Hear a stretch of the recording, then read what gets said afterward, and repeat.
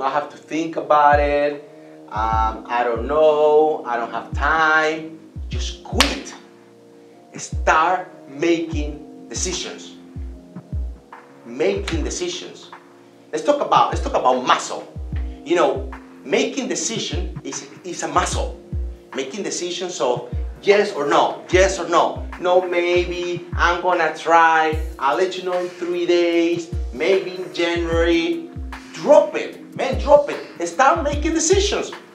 When, when was the last time you make a decision without start? No, I have to. I have to talk to this person. I have to talk to my boss. I have to talk to my wife. I have to talk to my brother.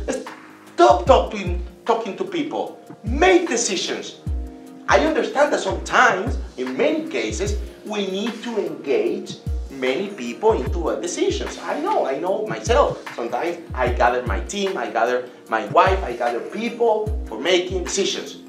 But in, in 30 40% of my decisions, I'll, I just feel, I just follow my, my intuition, my gut. I say, you know what? I'm gonna sign this today.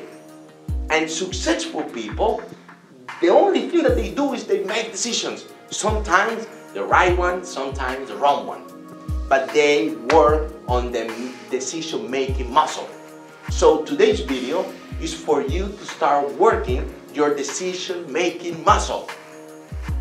I know this sounds a little bit funny, I know it sounds a little bit crazy, but listen, make decisions today, make decisions tomorrow, and you will see how life starts changing, how you're gonna change your, your results, and how you're gonna feel more finally more liberated. You're gonna you're gonna feel freedom because you are free when you are able to make decisions. Plan your own success.